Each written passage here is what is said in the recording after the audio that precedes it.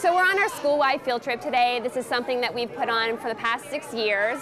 Uh, really, our goal is to bring the whole school together as a community and to celebrate our sense of belonging and a sense of um, a community as a whole school. And they do that for the Apollo 11 mission, the Apollo 12 mission, and the Apollo 14 mission. Here's a hard question. Why didn't they do it for Apollo 13?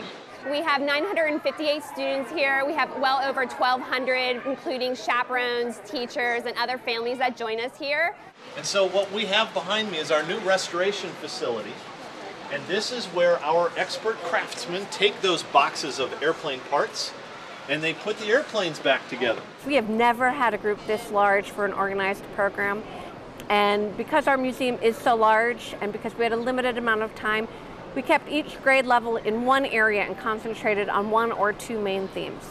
The museum has been amazing. They designed activities where students are participating in experiences that really do align to their curriculum, as well as they've arranged some really some wonderful speakers. They have actual pilots here to talk to the students.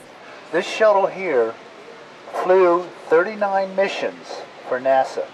I think we're really fortunate at Haycock that we have really involved parents. For example, we have uh, a NASA artist as a parent, so he actually designs the patches of the astronauts patches, so he designed our t-shirt this year. And then Charlie Bolden, a former astronaut as well as the current NASA administrator, has grandchildren at Haycock, so he is also here um, and enjoying the experience. I hope the students had a fun time learned something and want to come back to learn more. I think it really helps with their um, sense of belonging as well as their success as a, a, student and to have a global experience so that they can enjoy not just school but all the wonderful things that are around them. Can you say Haycock? We also gather together to take a school-wide photo that we proudly display in our school and this year we're going to take it in front of the space shuttle.